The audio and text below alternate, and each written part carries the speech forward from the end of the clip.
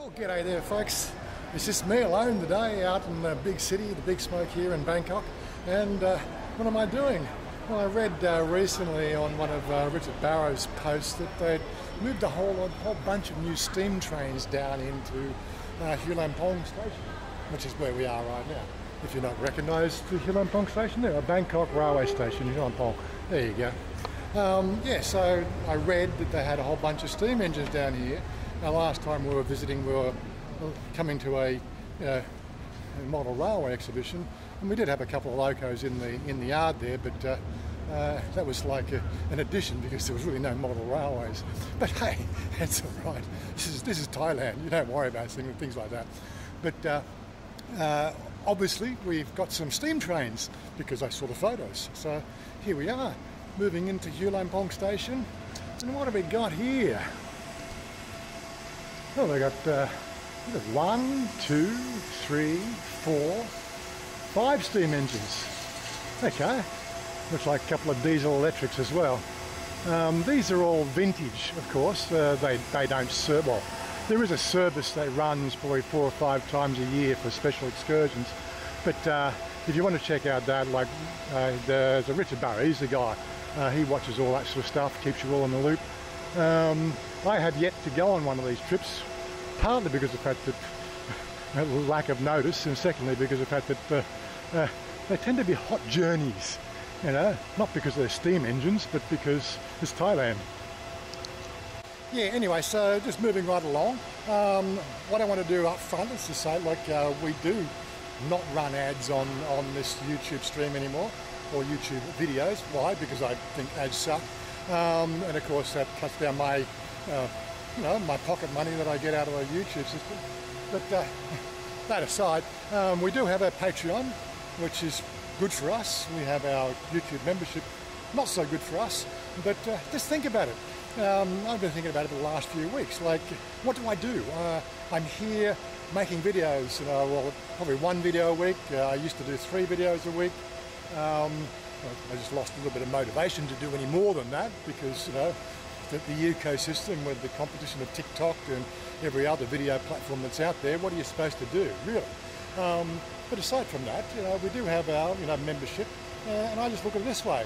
You know, if I've provided any sort of entertainment value to you for the 10 or 15 minute videos I do, and you thought that was worth a cup of coffee, shout me a cup of coffee. If you want them every month, buy me a coffee every buy me a coffee every month. Uh, there is a buy me a coffee link down there. There's also the Patreon. There's also you know, the uh, membership. Anyway, enough of that sort of shit. You know what it's all about. Um, I got to get out here. I got to pay money to go and check this shit out. Thankfully, I do like steam trains, which is what we're going to talk about today. You know, as some of you may know, I'm a bit of a, you know, you know what do you call it, visionary for you know the you know path that the human society is on its way down uh, the inevitable doom of society, uh, dystopian uh, outcomes. But that's when you think about it, you know, well, I like dystopian movies, you know, it looks at the other side of, you know, well, when things go wrong. Things are going wrong now, but they're, you know, manageable. Um, but, uh, steam trains, think about it. Um, this is what made the, the, the Industrial Revolution.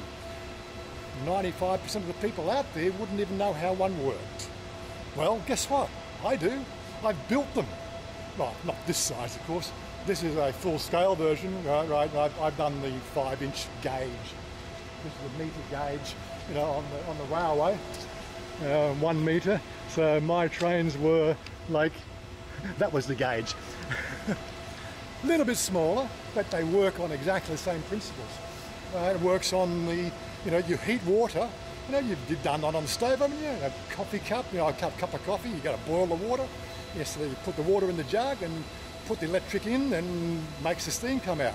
Well, you know, if you've done your science at school, you'd know the fact that steam has a, you know, it's, it's a vapor, it, expands.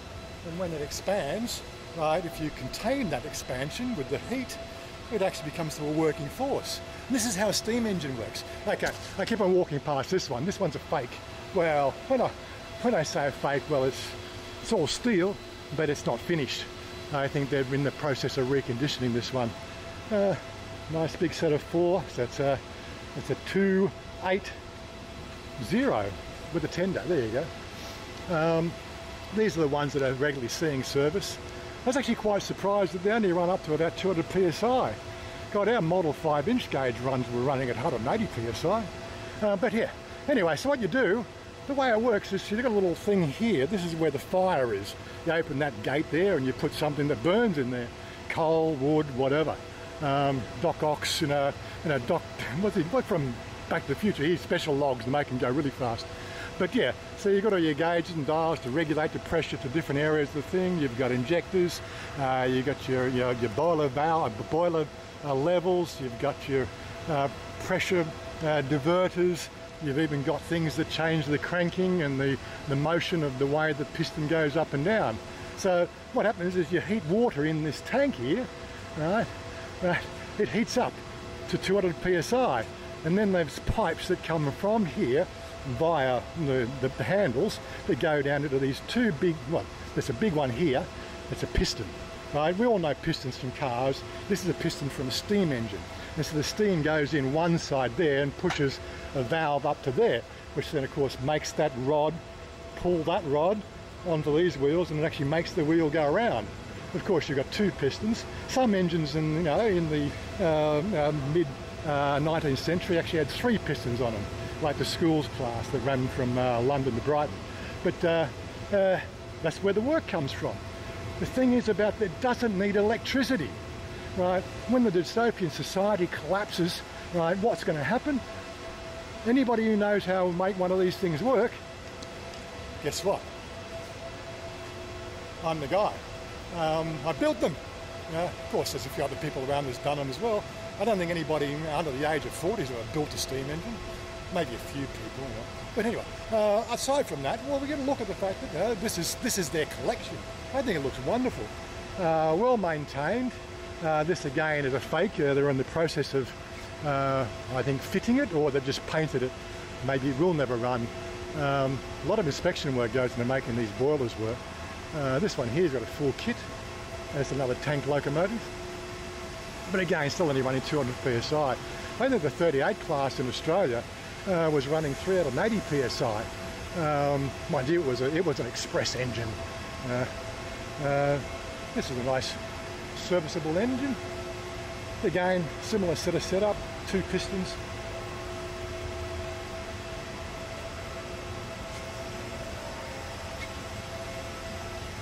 Just trying to look a bit closer. Looks like there's a third piston in there. Okay, that's a three cylinder. Didn't even know that how they managed to fit three cylinders on a one, or one, one metre gauge must have been a bit of engineering back in the time. But yeah, I think this is one that actually sees regular service, but again, you know, 200 PSI. But uh, yeah, they are just absolutely magnificent engines. They, um, they do, you know, they brought us to where we are today. You know, your electric vehicles there, well, they all work on the same principle, heating steam up, right? You know, you don't get steam in your car, of course. They heat the steam up at a big you know, coal factory where they burn coal, make electricity and put it through the wires and get it to your car. But it's still you know, power derived from steam.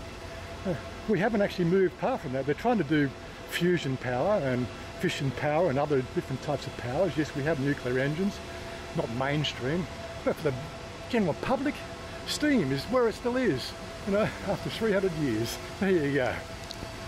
Of course, the thing that surprises me is like we've got Thailand the size it is, and we've got a railway network the size it is. Was trying to think of why aren't there more steam engines? Right? Like Australia's only got 27 million people, um, but just the the, the Thirlmere Railway uh, yard, museum thing down there south of Camden, uh, there's like there's 150 locomotives there. Well, maybe not 150, maybe closer to 60 or 70. I like to exaggerate, you know. Um, but uh, most of them are in working condition. Well, again, most of them, I say probably at least a dozen, they're actually steamable. And that's just one depot. Of course, this is Thailand. Stop. Yeah, trying to fit in around the, uh, the, the, the, loudspeakers can be a bit of fun. But yeah, so I was thinking about it, like, this is Thailand. Why, why, why don't we see more steam engines? Um, and it just dawned on me, it's Thailand. And everything gets reused. So I'm pretty sure that all the steam engines that were around they got stripped down and became other things, you know what I mean? Uh, not like Australia where it costs too much to actually strip them down for the steel that's inside them. Uh, you know what it's like, cost of labour.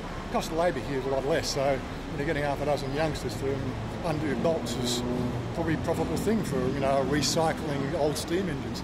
But um, that's only my thought processes. And that's, that's really what we do here in this channel. You know, I just out and about every so often, and of course we're going to do more of the out and about stuff uh, as the time progresses. Once things you know, start to, we see a light at the end of the tunnel with the things that are going on at home. Um, and like today, I'm only just here. I've got for coffee in the, come up for coffee in the morning. Uh, caught up with the guys from Jerry's meetup, uh, and here we are. Actually, I don't need to go back in here. And yes, so we've got uh, mine meetup that's uh, running once a month now on the first Friday of the month. Uh, you're always welcome to plug into that if you're in the country. I know we've got a couple of people uh, arriving today who've just flown in. Uh, always happy to sort of come and hang out with you guys and have a few drinks and uh, tell you about the life in Thailand stuff. And that's really what we do. It's, uh, it's just what, that's my job now, you know. I'm just a guy on the ground, can probably help you with a few little things, you know, I don't know, like I'm no expert in them, but I've managed to stay here for pretty close to eight years without too many dramas. Um, so it always hit me up, you know. Uh, we do have a Discord channel as well. That's where most of the gang hang because like Thailand's a big place and the Farangs that want to chat and talk and discuss everything. Uh, well, we're not next door to each other, so you know, Discord, it's a great community system that where you can get together, have a chat, share information, share pictures, share videos, even live stream the whole thing. You know, you can do anything you want.